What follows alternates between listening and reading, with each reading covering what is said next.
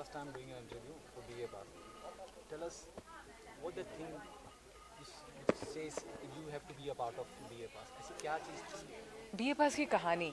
ऐसी कहानियाँ हम अक्सर अखबारों में देखते ज़रूर हैं, पर जब उनको फिल्माया जाए तो वो बहुत अलग किस्म का थ्रिल है उनमें। इसकी कहानी जो है वो वो मतलब मैंने अपने टेलीफोन पे पढ़ी थी। ऐसा बहुत कम होता है कि आप फ़ोन पे कहानी दें और आप रुक ना पाएँ, क्लाइमैक्स तक पढ़ जाते हैं। तो कहानी बहुत सॉलिड है। जिस तरह का रोल आपका है काफ़ी बोल्ड है। जब हम खास करके इंडिया की बात करते हैं व्हेन टॉक अबाउट सेक्स जी। यू नो द आईब्रोज जी, जी, जी। Start making comments and all ji. What's your take on that क्या कहना चाहेंगे? इतना बोल्ड स्टेप उठाने की खास वजह? क्या यकीन कहानी वैसी थी या आपको यकीन था कि मैं कर जाऊँगी? देखिए पह- सबसे पहली बात हाँ बिल्कुल कहानी जो है कहानी के साथ कुछ मिलावट नहीं की गई है कुछ छेड़खानी नहीं की गई है। उसी तरीके से कैमरे के साथ आर्टिस्ट के साथ किसी के साथ भी किसी किस्म की मिलावट नहीं है। सेक्स इस फ़िल्म में है क्योंकि वो इस फ़िल्म का स्पाइन है। अ, कैमरा इस, इसलिए नहीं मतलब कुछ भी इसलिए नहीं है कि वो आप कोई भी टिटिलेट हो। कहानी है वो ज़रिया है बताना ज़रूरी है।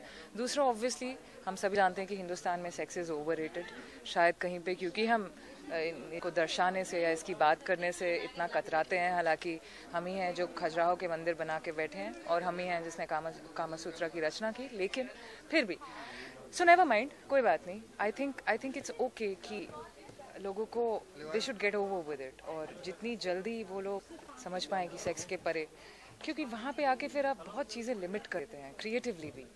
अ, तो इस फ़िल्म में इस फ़िल्म की ज़रूरत और मैंने ये रोल क्यों किया? क्योंकि अ, ऐसा रोल मुझे बहुत अरसे बाद मिला और जहाँ मैं इस औरत को अपना चेहरा देना चाहती थी अ, मैं उसकी परेशानियाँ और दिक्कतें समझना चाहती थी और तो बस इस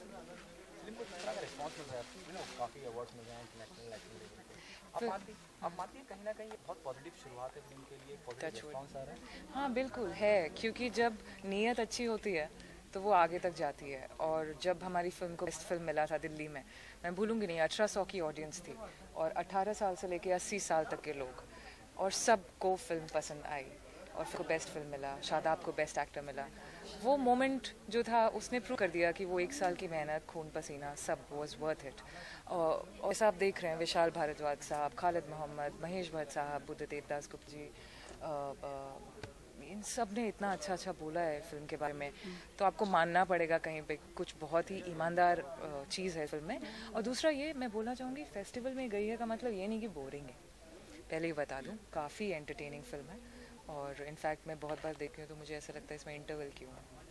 ऐसा लगता है। ओके क्या इसमें बहुत अलग अलग तरह के बहुत बहुत बोल्ड सीन है मैं कहना चाहूँगा जी, में। क्या मुश्किल था दीपावली ऑन द फ़िल्म पता हाँ सब आई थिंक कि सभी अज्यूम करेंगे कि ज़्यादा मुश्किल होते हैं सेक्स सीन को करना पर मैं आर्टिस्ट हूँ और अगर आप मुझसे पूछेंगे मुझे सबसे ज़्यादा मुश्किल डायलॉग बोलने में हुई ओके क्योंकि वो सारिका क्या बोलेगी? उसकी कैसी आवाज़ है? उसका क्या लहजा है? वो कैसे चलेगी?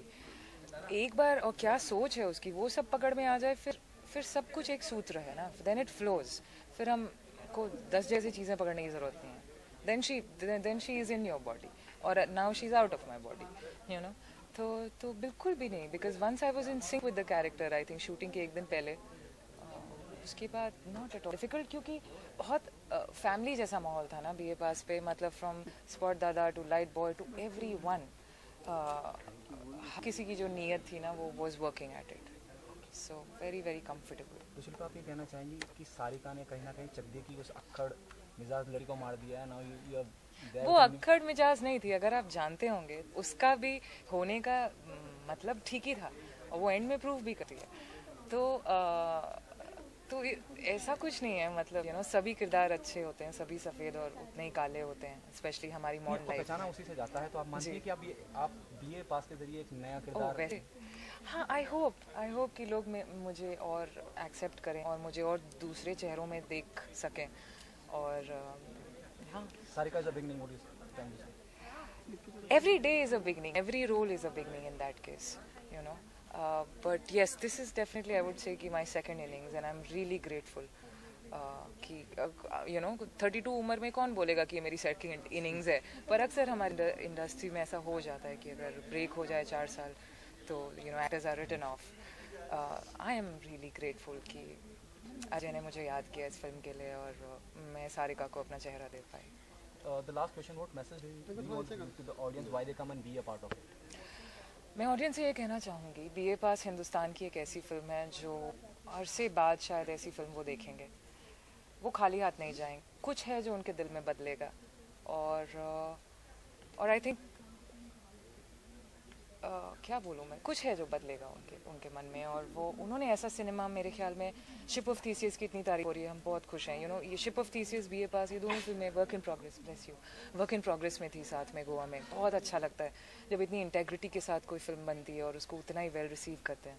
तो बी ए पास हिंदुस्तान की ऐसी फ़िल्म है जो 18 साल से ऊपर जो भी हैं किसी को मिस नहीं करनी चाहिए शॉकिंग हो सकती है उनके लिए लेकिन ये सोच के वो सिनेमा हॉल में ना आए ऐसा नहीं करें क्योंकि हमारे अखबार ज़्यादा शॉकिंग है यू you नो know? तो इस इस फ़िल्म का हिस्सा बने क्योंकि uh, ये आप में कुछ चेंज करेगा जो बहुत सुंदर ही होगा at the end of the day thank you अभी तक मीडिया इंटरेक्शंस हुए अ, अ,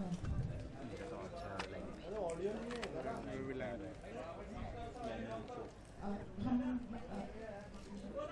रेडी आ रही आवाज़ ओके तो फिर शुरू करते हैं। मतलब what we been waiting for मैं इंट्रोड्यूस करना चाहूँगी सबसे पहले हमारा ट्रेलर और फिर हम सब आपसे मिलेंगे। So I hope you all like it thank you Okay, the lights can be off. We'll start with the trailer. We'll uh, screen it. पूरी कायनात उसे तुमसे मिलाने की कोशिश में लग जाती है। हमने ये फ़िल्म बहुत शिद्दत से बनाई है। बहुत सारे सैक्रिफाइसेस बहुत मेहनत। And I assure you I too assure you पर Bharat Shah sir thank you so much शायद अगर आपका आशीर्वाद नहीं होता और आपकी ब्लेसिंग्स नहीं होती तो हमें नहीं पता कि ये फ़िल्म जिसमें कोई स्टार नहीं है ये फ़िल्म कितने लोगों तक पहुँच पाती। Thank you so much for your support Mahesh Bhatt again, uh, I can't explain it in words. जब महेश भट्ट सर और पूजा भट्ट हमारी फ़िल्म देखने आए थे uh, मैं बता नहीं सकती बयान नहीं कर सकती वो experience we were all speechless and silent और सिर्फ़ वो हक और uh, वो human touch it tells you all so या और फिर इन इन इन सब का ये कहना कि जैसा कि विशाल भारद्वाज सर ने कहा well crafted beautifully shot very brave and genuine performance Shilpa Shukla exceptionally supported by the by God बदल लूँ क्या ओके टेक टू देन बोलूँ okay Well crafted, beautifully shot, very brave and genuine performance by Shilpa Shukla, exceptionally supported by Debedu Bhattacharya and Shadab Kamal. अरे light क्यों off कर रहे यार बंदी कर दे फिर से पढ़ूं okay take three Khalid Mohammed sir उन्होंने कहा most audacious movie I have seen in years visceral brutally real B A pass blew me away इन्होंने फ़िल्म ओशियन सिनेफैन में देखी थी जहाँ हमें बेस्ट फ़िल्म मिला था और हम बहुत खुश हुए और शादाब को बेस्ट एक्टर मिला था। Uh, महेश भट्ट साहब outstanding raw human truthful Ajay Bahl outdistances his contemporaries by miles in his debut film that's powerful and thank you so much sir a remarkable debut very good performances technically outstanding a must watch buddhadev das gupta ji as juicy as they come ba pass is pure unadulterated noir abhishek chaube wow super तो अब मैं uh, बिना किसी delay के I want to introduce my director and he's also shot the film and he's also produced the film three in one thank you ajay behel for this beautiful beautiful film and i want you to And I'd like to introduce my partner to you, Mr. Narendra Singh. Where's Narendra? Ah, there he is. Please come. And uh, sir, please, could you please join us on the stage? Bharat Bhai, please.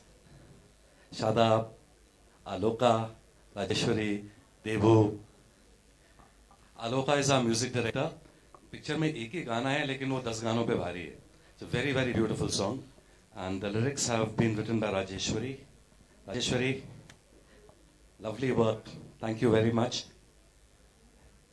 ये देबू जी हैं, आपने इनको देखा होगा देवदी में तो अभी तक नहीं सुधरे, वैसी हरकतें कर रहे हैं और Shadab everybody knows? Please introduce them.